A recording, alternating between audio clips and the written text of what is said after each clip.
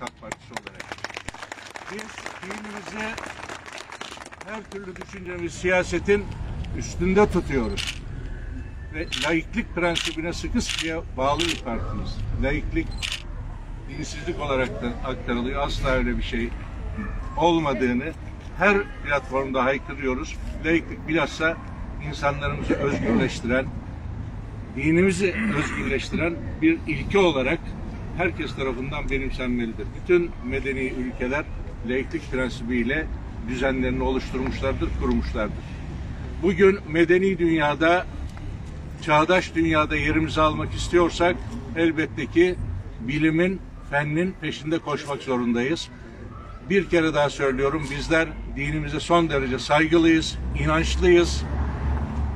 Siyasete dinimizi alet etmeyen insanlarız. Bun, dinimizden medet ummuyoruz biz. Siyasetteki varlığımız e, dinimizle ilgisi yok siyasette varlığımız ama dinsiz değiliz. Dinimize bağlıyız. Bunu bir kere daha özellikle vurgulamak istiyorum arkadaşlar. Dinimizi yanlış tefsir edenler, dinimizi yozlaştıranlarla da mücadele kararlılığımız aynen devam ediyor. Kararlıyız, mücadelemiz devam edecek. Dinimizi neydi belirsiz tarikatlara emanet etmek isteyenlerle mücadelemiz sürecek, sürüyor, sürecek. Atamızın izinde gitmeye devam edeceğiz. Ben buraya katılan bütün herkese tekrar teşekkür ediyorum ve şunun bilinmesini tekrar vurgulayarak söylüyorum. Evet, biz Cumhuriyet Halk Partisi olarak çağdaş ilim ve fennin arkasındayız, izinde gidiyoruz ve dinimizden de asla kopmadan gidiyoruz. Güzel dinimizi her türlü şeyin özellikle siyasetin içine bulaştırmak istemiyoruz, siyaset üstü tutuyoruz. Bunu da bir kere daha vurguluyorum ve hepinize teşekkür ediyorum. Sağ olun. İzninizle yine STK ADD adına Hüseyin hocamın da bir açıklaması olacak. Buyurun hocam. Evet, basına ve kamuoyuna. Cumhuriyetimizin kuruluş felsefesine, Atatürk ilke ve devrimlerine, özellikle demokrasinin olmazsa olmazı laikliğe ve Atatürk'ün manevi kişiliğine yönelik saldırıların giderek arttığını üzüntüyle görüyor, kaygıyla izliyoruz.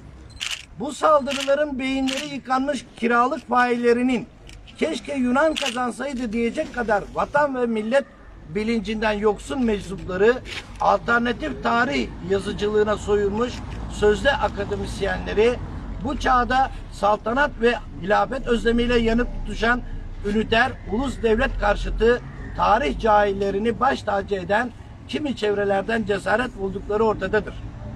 Atatürkçü Düşünce Derneği bütün bu alçak saldırıları olduğu gibi Ulusal Kurtuluş Savaşımızın simge şehri Atatürk'ün kutlu yolculuğunun ilk adımı Gençlik ve Spor Bayramı ile onurlanmış Samsun'umuzun onur anıtına kasteden bu son ihaneti de lanetlemekle e, ve süreci sonuna kadar takip etmeyi görevli saydığını kamuoyuyla paylaşmaktadır cümle hainler ve cesaretlendirdikleri iklimi yaratan aymazlar bilsinler ki biz buradayız.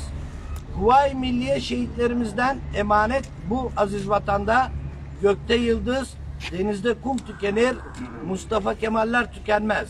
Atatürkçü Düşünce Derneği Genel Merkezi. Teşekkür ederim.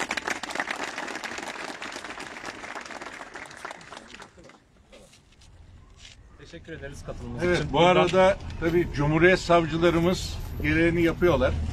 Yapacaklar. Güvenlik kuvvetlerimizle, emniyet güçlerimizle gereğini yapıyorlar. Bunlar cezasız kalmayacak. Bizim en önemli beklentimiz bu meczuplar değil. Bu nadan insanlar, eksik insanlar değil. Bunun arkasındaki planın, arkasındaki sorumluların, buna cesaret verenlerin de ortaya çıkartılmasıdır. Bunu da Türk adaletinden, Türk emniyetinden bekliyoruz.